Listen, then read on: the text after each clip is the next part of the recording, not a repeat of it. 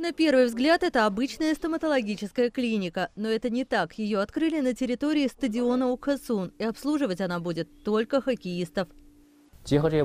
Стоматологи пройдут специальные тренинги, чтобы узнать, какие травмы бывают у хоккеистов и как оказывать первую помощь при них. В этой клинике будут делать простые операции. Если понадобятся более сложные, то пациентов будут направлять в специализированную больницу в трех минутах езды от стадиона. Кроме стоматологов, в медицинском центре на стадионе Укасун будут и другие специалисты. Все врачи очень опытные из лучших больниц Пекина. Перед играми они пройдут краткосрочные курсы, чтобы понимать, как и чем смогут помочь при необходимости. Также на стадионе будет расположен травмпункт, кабинет компьютерной томографии и кабинет для консультаций. Кроме того, будут дежурить пять бригад скорой помощи.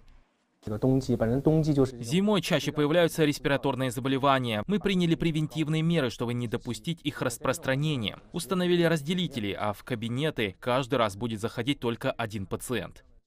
Строгие противоэпидемические меры будут действовать и в зонах общепита. Стадион на протяжении игр будет работать в режиме замкнутого цикла. Там будет организовано питание для более чем двух тысяч сотрудников стадиона, официальных лиц и представителей СМИ. Для спортсменов готовить будут в Олимпийской деревне. Разработан очень строгий протокол доставки пищевых продуктов и обработки использованной посуды. Мы будем очень внимательно следить за его исполнением. Как любят говорить в Китае, безопасность превыше всего. Другая важная задача – познакомить гостей с местной культурой, в том числе с китайской кухней. Олимпиада начнется во время празднования Нового года по китайскому календарю. И это отличное время, чтобы познакомить иностранных гостей с нашей традиционной кухней. Будут и пельмени, и шарики из клейкового риса таньюань, которые мы будем предлагать гостям, чтобы познакомить их с нашими обычаями.